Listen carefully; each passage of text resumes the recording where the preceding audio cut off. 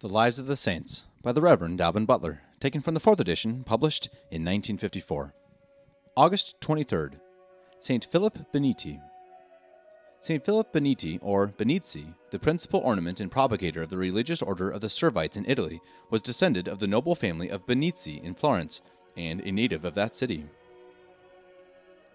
His virtuous parents were well persuaded that the right or wrong state of human nature depends as necessarily upon the education of children as that of a plant upon proper culture, and that the whole of his of this art consists not only in strengthening the body by suitable exercise and opening and improving the faculties of the mind by proper studies, but above all by forming in youth strong and lasting habits, and inspiring them with the most noble sentiments of all virtues.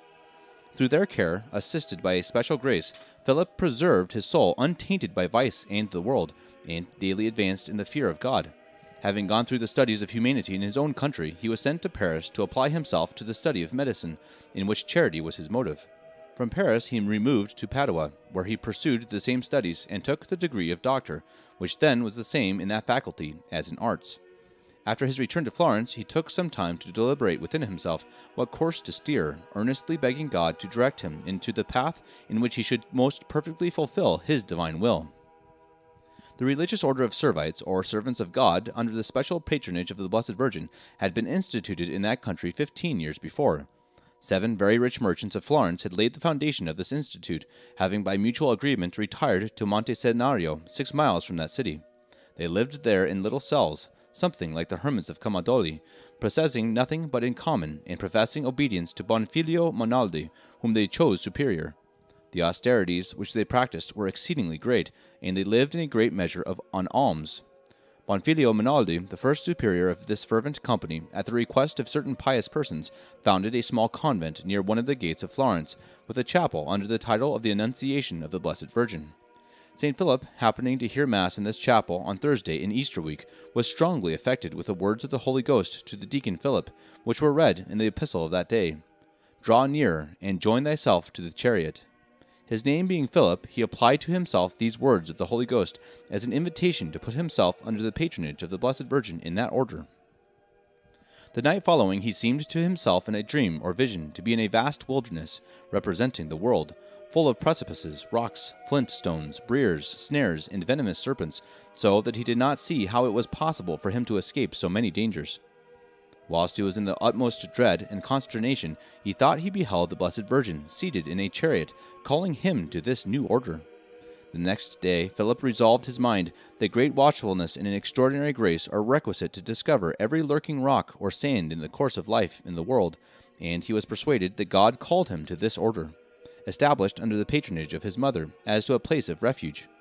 Accordingly, he repaired to the little chapel where he had heard Mass, and was admitted by F. Bonfilio in the habit, to qual- in quality of lay brother, that state being more agreeable to his humility.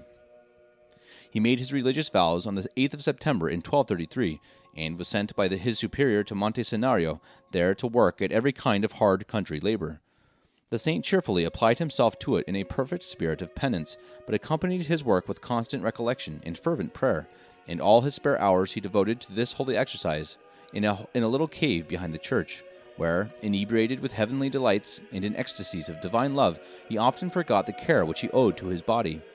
He most industriously concealed his learning and talents till they were at length discovered. In the meantime, those who conversed with him admired the heavenly prudence and light with which he spoke on spiritual things he was charged with the care of a new convent that was founded at Siena, where he undesignedly displayed his abilities in a discourse on certain controverted points in presence of two learned Dominicans and others, to the great astonishment of those that heard him. The superiors of his order were hereupon engaged by others to draw this bright light from under the bushel and to place it on the candlestick. Having therefore obtained a dispensation of his holiness, they took care to have him promoted to holy orders, though nothing but their absolute command could extort the humble saint's consent to such a step. He was soon after made definitor, then assistant to the general, and in 1267 the fifth general of his order. Upon the death of Clement IV, the cardinals assembled at Viterbo began to cast their eyes on him to raise him to the apostolic chair. Having intelligence of this design, in the greatest alarm, he retired into the mountains with only one religious companion, and lay concealed there till Gregory X was chosen. He rejoiced to find in this retreat an opportunity of redoubling the macerations of his body, and giving himself up to the sweet exercise of heavenly contemplation. All this time he lived chiefly on dry herbs, and drank at a fountain, since esteemed miraculous, and called St. Philip's Bath, situate on a mountain named Montagnat. He returned from the desert glowing with holy zeal, to kindle in the hearts of Christians the fire of divine love. After preaching in many parts of Italy, he appointed a vicar general there to govern his order, and with two religious companions undertook an extensive mission, preaching with great fruit at Avignon, Toulouse, Paris, and in other great cities in France, also in Flanders, Friesland, Saxony, and Higher Germany.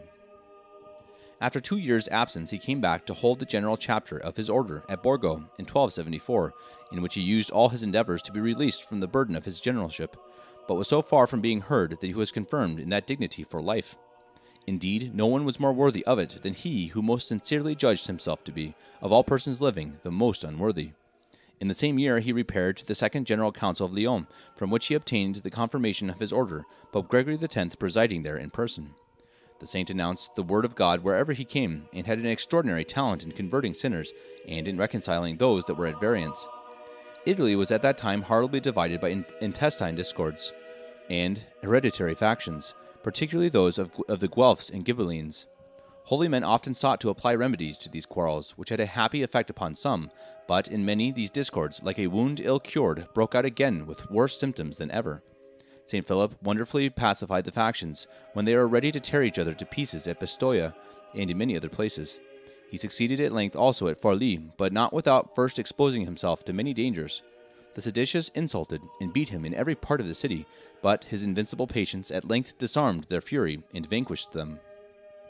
St. Peregrinus Laciozi, who was their ringleader, and had himself struck the saint, was so powerfully moved by the example of his meekness and sanctity that he threw himself at his feet, and with many tears begged his pardon and prayers. Being become a perfect model of penitence, he was received by him into the order of Servites at Siena, and continued his penance in sackcloth and ashes to his happy death in the eightieth year of his age. So evident were his miracles and other tokens of his heroic sanctity and perseverance that he was canonized by Benedict XIII in 1726. St. Philip made the sanctification of his religious brethren the primary object of his zeal, as it was the first part of his charge. Nor was he a stranger to the maxim, with the zealous reformer of La Trappe so strenuously inculcated, that a, that a religious community in which regular discipline is innervated, and those who profess the order are strangers to its true spirit, is not a harbor or place of refuge, but a shipwreck of souls. Scarce could a saint be able to resist such a torrent of examples or the poison of such an error, in which, as in a pest house, everyone is confined. Though gross crimes of the world are shut out, the want of the religious spirits, and the neglect of the particular duties of that heroic state are enough to damn souls.